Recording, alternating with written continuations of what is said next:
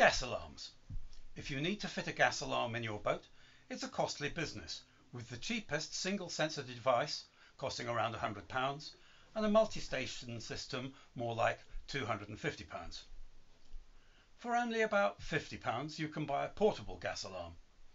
Not quite the same, I grant you, as a built-in one, as it'll only warn of gas when you are using it.